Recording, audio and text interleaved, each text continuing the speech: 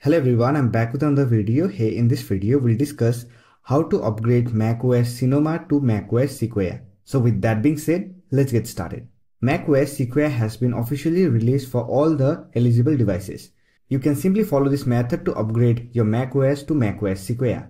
For that, simply open System Settings, click on Apple logo icon, here click on System Settings. Now click on General, here click on Software Update and it will check for the software update. Here you will find macOS Sequoia upgrade option. Simply click on upgrade now button and here simply accept the license agreement for macOS Sequoia by clicking on agree button. Now enter your system password and click on OK and wait for the download process to complete.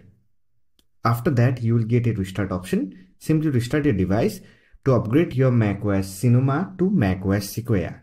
After the restart process has been completed, you can verify it by clicking on Apple logo, click on System Settings, click on General, here click on About, and here you can see we are currently using macOS Sequoia. So that's it, this is how you can upgrade your macOS. I hope this video was helpful to you. If you found this video helpful, don't forget to hit that like button and subscribe the channel for more videos like this. Bye for now, see you next video.